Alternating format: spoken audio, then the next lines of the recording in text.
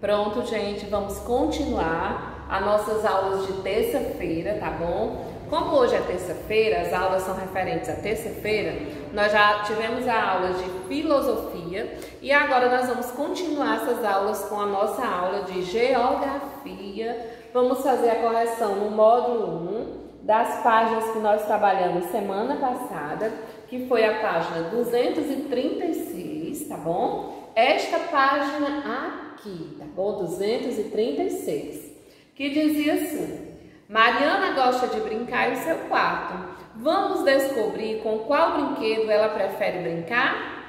Leia as dicas com a ajuda do professor e depois contorne o brinquedo na fotografia a seguir. Então eu li as dicas para vocês, expliquei como vocês deveriam proceder. Aí o item A diz assim: o brinquedo está próximo da mesa amarela. Qual, qual será esse brinquedo? Aí tem um monte de brinquedo. Mas qual será esse brinquedo que está próximo a essa mesa amarela? Item B, próxima dica. Maria gosta de dormir abraçadinha com ele. Maria gosta de dormir abraçadinha com ele. Qual será desses brinquedos que ela consegue dormir abraçadinha com ele? Será que ela dorme abraçadinha com essa mochila?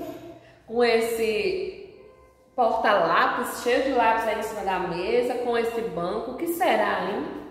E o item C, terceira dica, ele está em cima do banco branco. Qual foi mesmo? Qual é esse brinquedo? Isso é o urso. Então você circulou o urso, tá bom? Questão de número 2. Pinte um material escolar que na realidade é maior que o tubo de cola. Aí nós temos a cola, o apontador. Será que o apontador ele é maior do que a cola? O que é que vocês acham? Que o apontador é maior do que a cola? Ou o estojo é maior do que a cola? Qual foi o que você pintou? Muito bem, vocês pintaram estojo, parabéns! O estojo é maior. O estojo você coloca um monte de lápis, coloca borracha, coloca um monte de coisa. E a cola é um vidro, né? não é tão grande, tá bom? Página 237, você iria, ó, desenhe o trajeto de cada material escolar até a saída e depois pinte. Então, você iria fazer o trajeto até a saída de cada um desses materiais escolar. Temos o apontador, a mochila e a tesoura. Depois, você iria escrever o nome em cada um dos quadrinhos onde está indicando a saída, né? E o item B, Contorne os materiais escolares do labirinto conforme as orientações a seguir. Contorne de verde o material escolar visto de frente. Qual é esse material escolar que você via de frente? Qual foi? Muito bem, a mochila. Então você iria contornar de verde. O da tia não está, mas está circular. A mochila, tá bom? Próximo, contorne de azul material escolar visto do alto e de lado. Qual foi esse material? Foi a tesoura ou foi o apontador? Muito bem, foi o apontador. E contorne de vermelho o material escolar visto do alto de cima para baixo, que era exatamente a tesoura. Tá bom? Tesoura. Agora nós vamos lá na página 238 com a ajuda do professor, leia as frases a seguir, relacione cada frase à imagem correspondente. Então você iria, é, a tia fez a leitura aqui para vocês de todas essas frases e vocês iriam colocar cada uma dessas imagens abaixo, elas estão com um numeral. Então você iria colocar o número correspondente a cada uma das imagens, de acordo com a frase. Lavar as mãos antes de dormir. É a imagem 3, onde a menina está comendo melancia. Fazer os trabalhos escolares com cuidado e atenção. A imagem de número 4 tem uma criança, juntamente, provavelmente com a sua mãe, fazendo a atividade. Jogar sujeira produzida pelos animais nas lixeiras corretas. Olha aí, tem uma, uma criança com uma, uma, um adulto com os animais. Então, é a imagem de número 2. Esperar a vez na fila, respeitando a vez do colega. Que imagem é onde tem as crianças brincando? Qual é o número? Número 1. Um. Então você iria fazer assim, ó. Numerar exatamente como está aqui, tá bom? Agora nós encerramos o módulo 1 com os conteúdos de geografia e nós vamos passar para o módulo 2. Nós ontem já começamos lá em o módulo 2, a disciplina de português, conteúdo de português, ó, módulo 2. E você vai abrir na página de número 198. Número 198, tá bom? Aí, como é o nome deste conteúdo? Desse capítulo, melhor dizendo. Eu e minha moradia. Aqui nós temos Três moradias. Vocês conseguem reconhecer essas moradias? É a moradia dos três porquinhos. A tia trouxe para mostrar para vocês, para que vocês é, tenham essa noção do, das moradias. Essa aqui é uma casa de palha. Essa é a casa de madeira e essa é a casa de tijolos. É, nós ainda vamos mais na frente desse capítulo nós vamos conhecer os tipos de moradia, tá bom? Mas aqui foi só mesmo para que é, vocês tenham a noção do que seja moradia.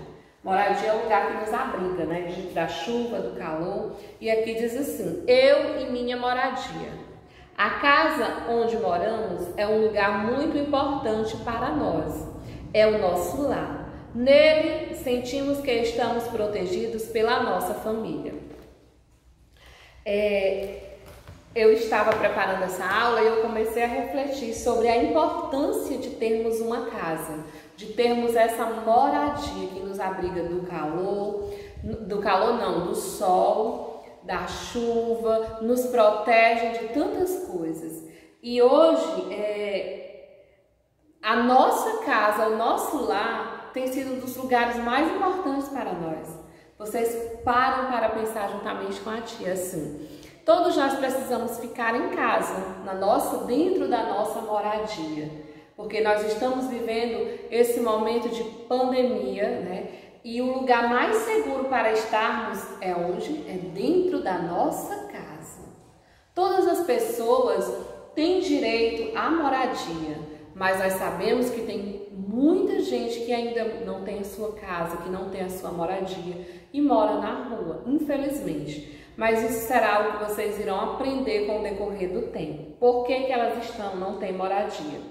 E aqui vocês podem observar, nessa imagem, que nós temos é, uma criança, ele está montando com algumas peças de madeira o que nós podemos chamar de casas, né, de moradia. E aqui diz assim: Você já brincou com casas em miniatura ou já construiu casas com brinquedos de montagem? Como fez o menino da fotografia? Geralmente vocês é, tem criança que gosta de pegar aquelas pecinhas e montar. Escolha uma palavra que combine com sua casa. Por exemplo, a sua casa é grande, é pequena, a sua casa é bonita, é arejada. Como é a sua casa? Você escolhe uma só palavra e você vai responder, tá bom? É, na página 200, página de número 200, essa aqui, ó, página de número 200. A importância da moradia até já adiantou um pouco, né? Como é importante a nossa casa. A moradia é o lugar onde nos abrigamos. Nela descansamos e nos protegemos do calor, do sol, do frio, da chuva, do vento e de outras coisas, da violência. Em casa também convivemos com as pessoas da nossa família e aprendemos muito com elas. Principalmente agora, esse momento que nós estamos vivendo, nós estamos vivenciando muita coisa que nós antes não tínhamos tempo. Muitas vezes você tem passado mais tempo com a sua família, com certeza vocês têm se reinventado, tem criado é, algumas coisas para passar o tempo, tem conversado mais, tem tido mais tempo para vocês. Então, e tudo isso está acontecendo onde? Dentro da casa de vocês, da moradia, da moradia de cada um de nós. Eu estou passando muito tempo na minha moradia com o meu filho e vocês, como é que vocês estão passando esse tempo? Com a família de vocês? Vocês estão com a mamãe, com o papai? Como é que vocês estão se cuidando na moradia de vocês? Vocês têm cuidado? desse lugar tão maravilhoso que é a sua casa, tem limpado, tem sido um local que você tem organizado os seus brinquedos, os seus livros, o seu quarto, como é que você está cuidando dele, tá bom? Na página 201 diz assim: Desenhe sua moradia no espaço baixo. Você vai desenhar bem bonita aqui a sua moradia e você vai pintá-la, vai deixar ela bem bonita. Eu quero ver, eu quero receber é, essas atividades e eu vou observar como é cada uma dessas moradias, tá bom? Então, até daqui a pouco nós vamos voltar já já com a nossa aula de gramática, né, é, de português relacionada à nossa gramática. Vá logo aí pegando a sua gramática, que nós vamos já fazer a correção e vamos dar início também, tá bom? Até daqui a pouco.